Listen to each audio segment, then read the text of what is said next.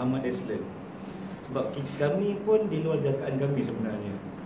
Uh, walaupun baru setengah hari eh, uh, waktu satu sesi sesi saya sesi yang pertama sampai tengah hari pencapaian mereka berada di tahap yang agak tinggi lah. Satu-satunya kelas ya, kelas di antara kelas yang terbaik lah. Sebelum-sebelum ni uh, petang baru kita dapat pencapaiannya yang lebih bagus. Tapi untuk hari ini Alhamdulillah lah uh, hampir kesemuanya hampir ke 95% pencapaian murid pada kelas ini terlalu excellent. Alhamdulillah. Apa yang dia belajar hari? Hari ini apa yang kami ajar, kami ajar dia bagaimana nak dapatkan fokus yang tahap lebih tinggi. Kami aktifkan uh, pineal gland dia supaya tahap fokus dia kita akan pastikan dia menggunakan tahap fokus yang optimum yang semaksimal yang mungkin.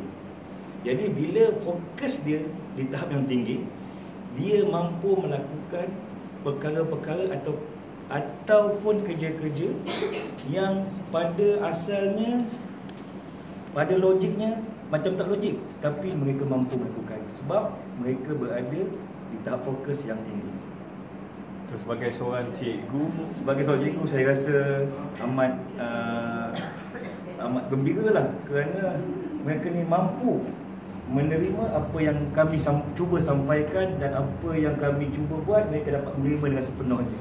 Alhamdulillah. So kalau cikgu ni cikgu mengajar di sekolah. So yeah. kalau benda ni boleh diajar di sekolah dan universiti, apa kelebihan?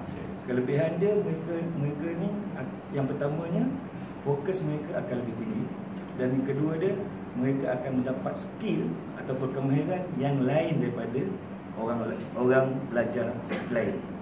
Maknanya dia ada satu kelebihan yang berbeza lah.